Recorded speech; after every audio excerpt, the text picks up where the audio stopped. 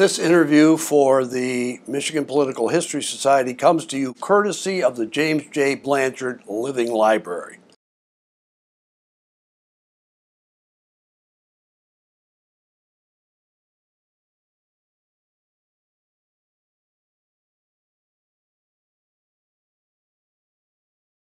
Scott Romney, welcome. Thank you. Happy to be here, Bill.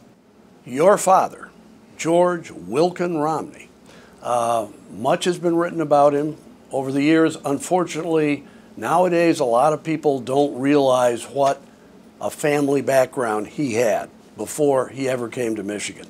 Can you tell us just a little bit about the family background, his birthplace, his upbringing, and so forth?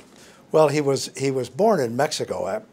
Actually, he was his uh, his father and uh, went down as a young man uh, with his grandmother and uh, went to Mexico in the 1890s. Uh, the Mormons went there, a lot of them, to escape persecution for polygamy. So his grandfather was a polygamist, and uh, so they went there and lived there.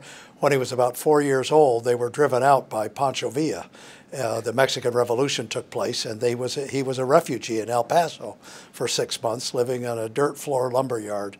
And then his father and mother uh, lived in the West, Idaho and Utah. They he went to six different grade schools by the time he was in this in the sixth grade, and uh, ended up in Salt Lake City, Utah.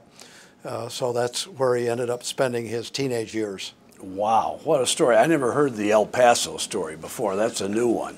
Okay, so he's uh, in Salt Lake City. What is he about 17, 18? He was he was there a little earlier than that, 14 or 15, and uh, he met my mother in high school there, and fell in love with her, and uh, ch- chased her from then on to try to marry her. Did he ever go to college? He went to college. He went to a school that was there that no longer exists called LDS Business College. But he only went there one year. And he went to a couple other colleges, and I'm not even sure of the names of them, but one was in California for a year and another one for a year. He never graduated from college. Okay, so he chased your mother to Washington. He went on a mission for our church to England, and when he came back, he, uh, he, my mother's father had become the federal radio commissioner of the United States. Her father served as the federal radio commissioner under Calvin Coolidge, Herbert Hoover, and Franklin Delano Roosevelt. And so she was in Washington, D.C., and she was a promising actress and she was taking acting lessons in New York. So he chased her to Washington and, and got a job there so he could try to be with her there. He got a job actually as a stenographer for Senator Walsh from Massachusetts, and he ended up not being able to take stenography, so the senator made him a tariff expert.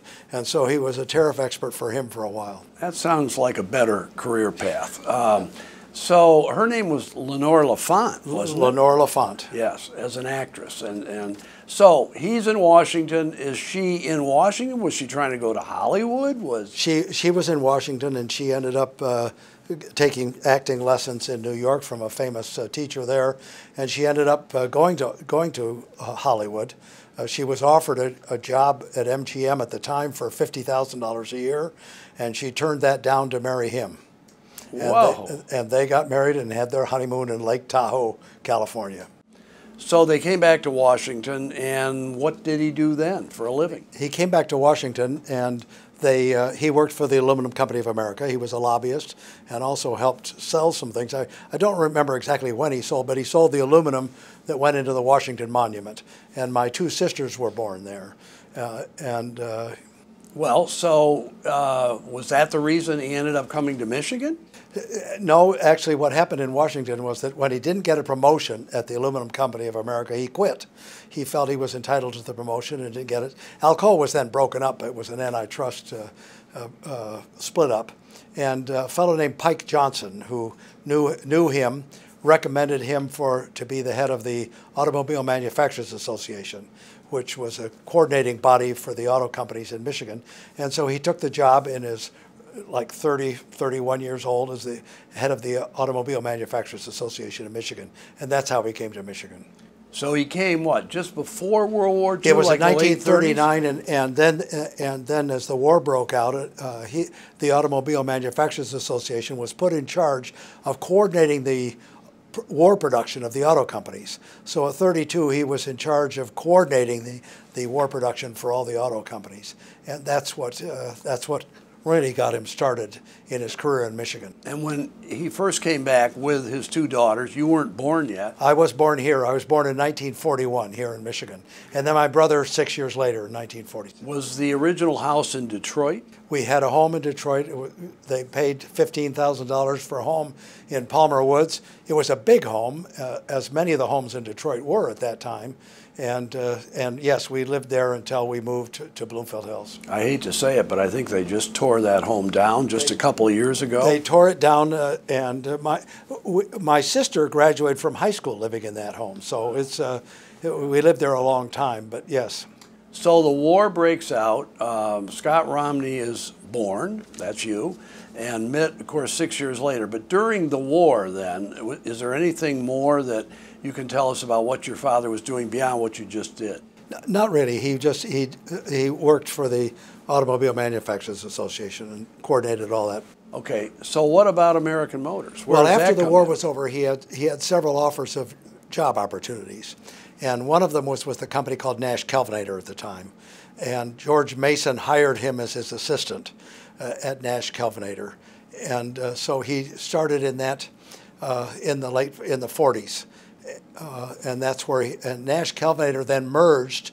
I think in about 1953, you'll have to look it up, Bill. They merged with Hudson and became American Motors.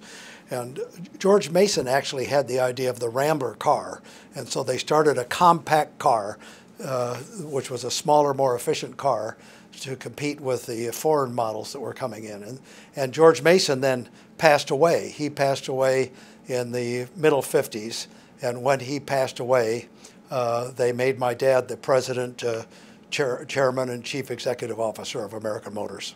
Okay, so by that time he was probably in his late he was, 40s? He was, he was, in his late 40s. He was 47 and, and young for head of one of the auto companies at the time. Wasn't Jeep part of American Motors? They too? later on bought Jeep. They bought Jeep and made it part of American Motors. Right. Well, you know, American Motors was an incredible story in the late 1950s. I remember it, and I remember your father on the cover of Time magazine, and I remember his phrase, gas guzzling dinosaurs. He was that, and he was also named the Associated Press Businessman of the Year two years in a row. And, uh, and the Rambler at that time became the third largest selling car in the United States. A Chevy, Ford, and the Rambler. So it was a very successful business. There was an effort by Louis Wolfson, if you go back in your history, to try to take over American Motors, and he was a raider that would then divide up the companies and sell them off for more than what they were they were worth individually or together, and uh, and he ended up failing this. Uh, he dropped out, and the stock went from six to ninety under my dad's leadership, and so it was a very successful venture. Absolutely. You could sleep in a Rambler. That was a big deal. He they loved doing that. Dad would seats. sleep in the Rambler, and when he was governor, he would travel to Lansing and, and uh, sleep in the car. Right, absolutely. Uh, when did you get an inkling? Now, we're talking in the late 1950s, and you're going to Cranbrook School, if I'm not mistaken. That's right. Uh, when did you get an inkling that your father might be interested in politics or government? Well, you know, I think, uh, as I said, my his uh, my mother's father was uh, obviously involved in politics, but and my dad's father had been the uh, had some some small involvement in politics. But my dad was asked uh, in the late '50s to chair an effort by the Detroit school system to raise to uh, raise money for bonds and to improve the quality of the schools, and he accepted that job as chairman of that organization. And uh, that, that sort of began his interest in politics. And then as he saw the tremendous division between Governor Williams and the Republican legislature and how they really created havoc with the state and had payless paydays, it really uh, caused him to think that there must be a better way to run uh, the state government. And so in the in the late 50s, he formed uh, with uh, with Walter Reuther and Bob McNamara, who at the time was head of Ford Motor Company, uh, Citizens for Michigan. And they began to make an effort to try to improve the future of the state. So out of Citizens for Michigan came what? The effort to perhaps reform the Michigan Constitution and have a constitutional convention. And there were a series of ballot proposals.